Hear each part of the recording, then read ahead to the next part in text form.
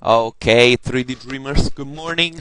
Um, as I promised this morning, I was gonna post a uh, tutorial now to create a very quick uh, light setup in uh, V-Ray for Rhino. So we got our scene here. It's very simple. What I basically did, I just dropped some um, um, spheres uh, and I textured them. Uh, I've been using two uh, squared lights to light up the scene, and I've been using a uh, fillet box to uh, to um, to actually uh, create the studio setup. So we are going to build everything from scratch again, and uh, let's see what um, uh, what we can do. By the way, I'm going to use Rhino 5 and uh, V-Ray uh, 2.0 for this. So basically, I'm just gonna um, delete this and delete the lights. Well the spheres are just you know normal spheres. Uh, anybody can make a sphere. If you don't know how to do it just go to the uh, solid tab here in the corner and just create a sphere.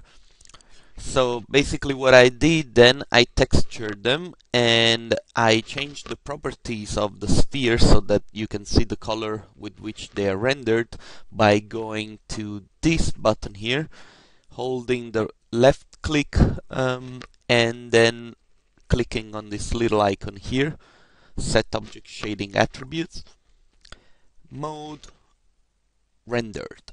And there that's how you change the uh, the display uh, view. Um, let's build the uh, studio setup. So I'm just gonna make a box extrude it up and then with shift and control at, uh, pressed at the same time, I'm going to select the faces of this box and hit delete. Then what I'm going to do, I'm going to say fillet edge and I'm going to choose a radius, let's say maybe of 10. Let's see what this will give us. Yeah, that might be good. Okay, the box it's intersecting all the, the spheres, so let's move it lower and um, let's give it a material. Now here I prepared the uh, materials already. Um, what I'm going to do, I'm going to create them uh, from scratch so that you can see how easy it is to create a material with V-Ray. So let's go to scene material, right click, create material, standard. Let's call these uh, 3D um, spheres there you go. So what I'm going to do I'm going to create a layer reflection layer and let's see what we got. Okay so this is a um, a uh, grayish color with a little bit of Fresnel reflection. What I'm going to do I'm going to click on the M beside the uh, color tab and I'm going to look for um, a Fresnel uh, effect. And at the parallel color I'm going to choose a um, purple kind of color. And let's say on the perpendicular I'm going to go for let's try something weird maybe a yellowish color. Okay let's see what we got. Okay so you can see I'm not sure you can see it but you know the main color um, on uh, this material it's purple and there is some sort of like uh, yellowish um, color on the side. Kind of like that. So what I'm going to do, I'm going to select all the spheres, right click and say apply material to selection.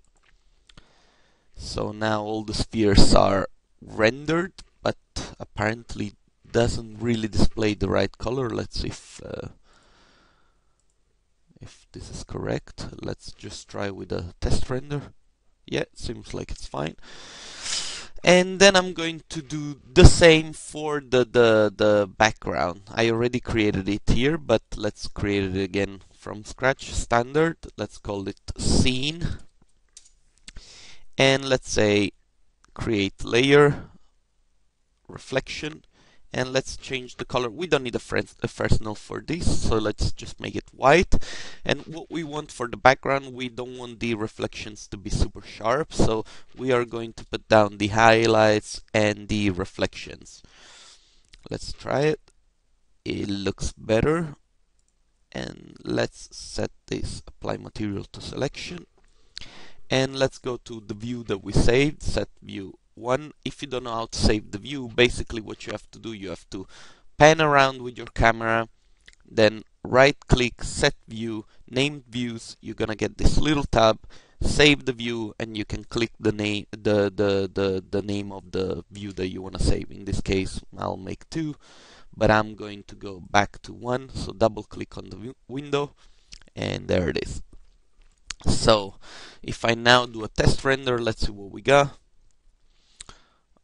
Okay, the image seems to come out, it's a little bit dark as you can see, but uh, no problem, we are just going to add some lights. To do that, I'm gonna go to the light tab and select uh, rectangular light. Uh, there we go, let's turn it towards that direction. Let's put it closer, maybe a little bit higher. And let's duplicate this light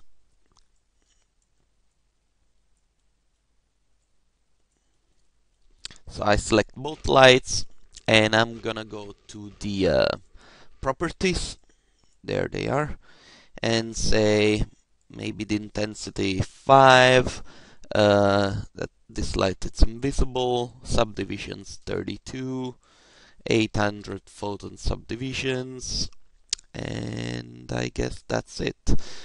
So let's go back to our view and see what happened.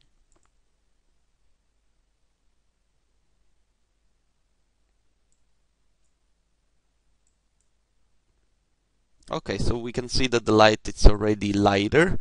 Um, maybe what I'm going to do, I'm going to pause it and see the uh, result when it's ready, okay? So don't go away, I'll be back in a few seconds. Okay, so uh, we are basically, I think, five minutes in. Um, the rendering is almost uh, ready.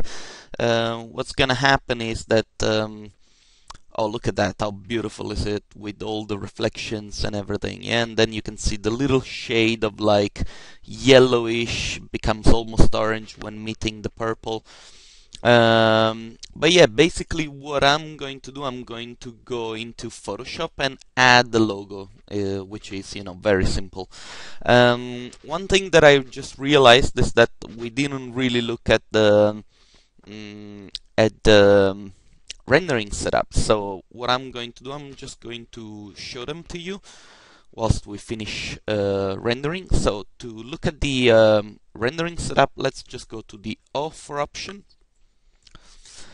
And uh, basically what I changed was in the indirect illumination I just changed the um, uh, usually comes to brute force um, the, the the normal setups are set on brute force I just changed it into light cache and that's all I did. I didn't change the irradiance map settings or the light cache settings. As you can see, they're all very uh, low in quality, but uh, to my opinion, um, V-Ray does a very good job already with the uh, normal settings. And I uh, asked for the ambient occlusion to be on. Uh, let's see if I changed anything into the uh, environment. No, the image sampler it's also very low, so don't bother with that. Uh, that's enough to get you started. Uh, eventually, you know, if you want to find out a little bit more about, you know, um, um, renderings and uh, post-production techniques, um, I work very close with the guys from Flying Architectures. Uh, they are extremely good at this. I mean, I'm a beginner in compar- in comparison to uh, what they do, um, and we organize a lot of workshops with them. Um, we also do a lot of stuff with the parametric modeling. One of one of our latest um, workshops is the um, the uh, winter school in Bratislava. I'm going to post links uh, in the description below. Um, I am pretty sure that you guys will find this uh, very interesting. Okay, so keep us on, um, uh, uh keep on following us, and uh, we will see each other on the. Uh, on the community online on Facebook and wait for the launch of our new website. This is going to be epic. You guys have a good day. Um, yeah, we'll talk soon.